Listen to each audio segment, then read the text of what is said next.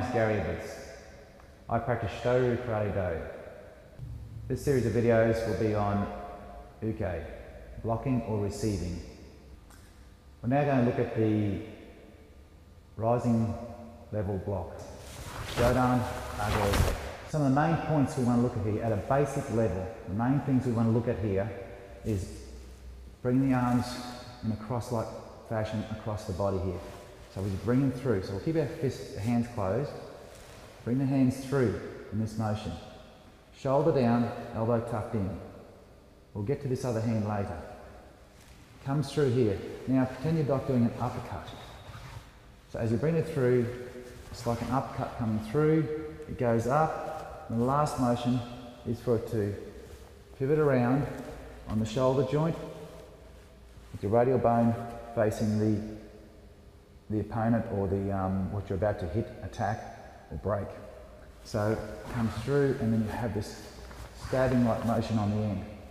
You pictured yourself with there with a, a pencil or something or, or, a stabbing motion. So you don't want to rotate the hand all the way around and expose the underside and uh, you know, the, the palm, etc., out, out this way. So keep it in. So again, coming through, cross, uppercut, rotate the shoulder, and a stabbing motion here, hitting with the radial bone. So just demonstrate that again one more time. Cross, there's the cross, uppercut coming through, rotation, and a motion here. You want to keep the fist about an open hand's distance from the nose at 45 degrees. Wrist in line with the nose. So you're covering your head. You want to make sure you it's not too low, not this way where your face is exposed. So again, 45 degrees, one open hand's distance from the nose, and there we have a basic rising block. While we do all this, of course, we're going to be doing it in a simple basic stance. Okay, what I'd like to do now is just do the same blocking technique, rising block, but I want to now add a little bit of another element, a bit more advanced look at this blocking or receiving technique. We have two hands here, two hands. We generally only see one hand doing anything, but both hands are doing something. So let's look at it if we open our hands up.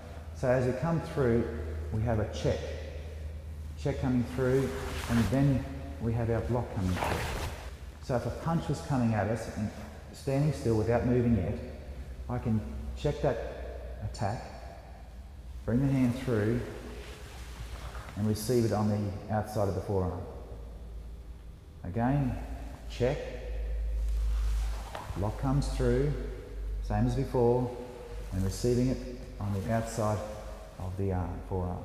So again, as the hands coming through in this cross-like motion, an uppercut coming through, and you finish the block with the rotation of your shoulder, elbow down, a 45 degree slant through on your arm here, so it's, it's not horizontal to the floor, it's on a 45 degree angle.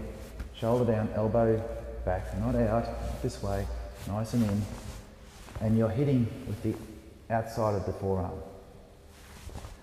So again, coming through, up and out. Up, rotation, and hitting with the outside of the arm. If we now put some body movement into this, so now we're going to move our body, which again brings this technique to life even more than what we were just doing. And remembering that we're not going to be doing our karate standing still. Eventually we are going to be doing a lot of movement with it. So we learn it in most basic form first. And then we start to look at the, uh, the technique more in depth. So we do exactly the same movement, checking and blocking. So an attack comes in, I'm going to check across my body. So if I'm checking and pushing the technique this way, I want to move the opposite way. So the technique comes in, I check, and then I can apply the block.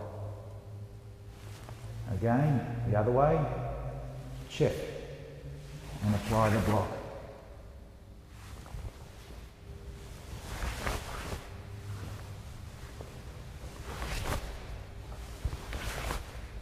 If that was coming from a straight punch or a hook punch, you get the idea of punch coming around, you check, and on the back side of the arm, pushing through, causing the, the attacker to go off balance. If you push in a little bit further, you'll definitely push them off balance.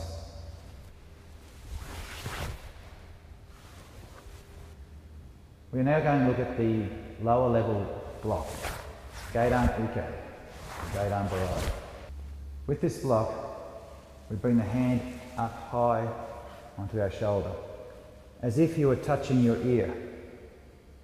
So depending on your how high you get that arm, you want to get that arm up high on the shoulder. Use your ear as a reference, and you need to get this elbow across the center line. We don't want the elbow on this side of the body. We want the elbow on the across the center arm, center line of the body. The other arm comes across.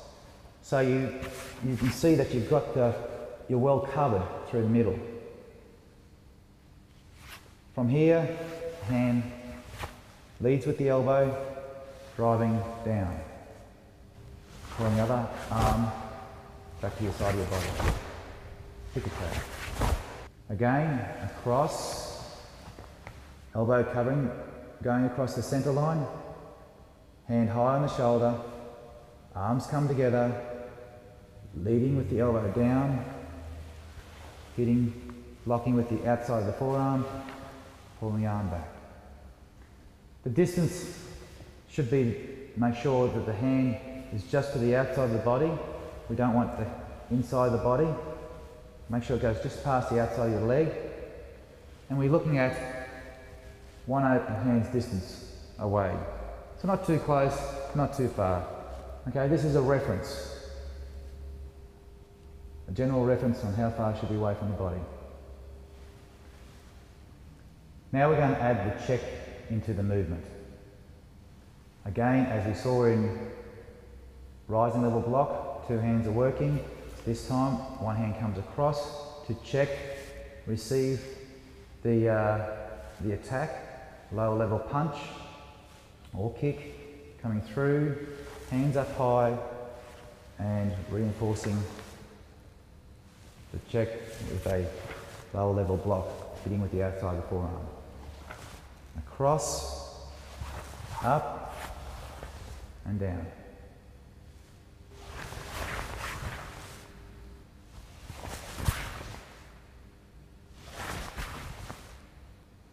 Now we'll add some body movement to that.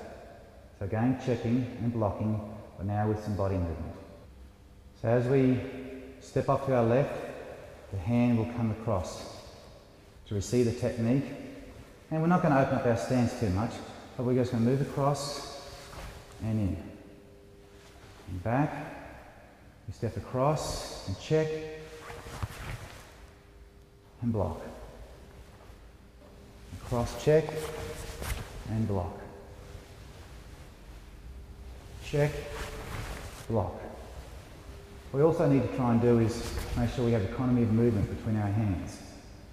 So the hand, checking this hand needs to be prepped, chambered, ready to go, and moving through and back. Check, this hand's chambered, block. Again, as we move to the side, we're checking, chambered, and hand comes through, blocking.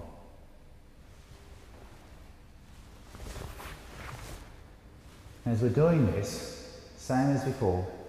You've checked, and this has the potential to take your, part, your opponent off balance by pushing on the back of their arm. So again, as that person's coming through, you're checking and hitting your forearm higher up here on the outside of their arm, causing them to go off balance as well. Hand comes through, you check and move out of the way, so body movement clears you offline, and then the hand comes through and can take that opponent off balance. With this one here as well, as you're moving, you check, you can also put your hand on the outside of their arm so you end up with a hyperextension of the elbow as well. So with their hand here and you're hitting here, you have this motion here, causing a little bit of hyperextension of the elbow joint. Come through, check. You've got that, you put your hand on the inside of their forearm and you've got a little bit of, as you hit impact and you pull this hand back, you can hyperextend the elbow joint as well. So you're moving your opponent off balance. You can also stress the elbow joints and um, of course you've moved out of the way and done an effective block.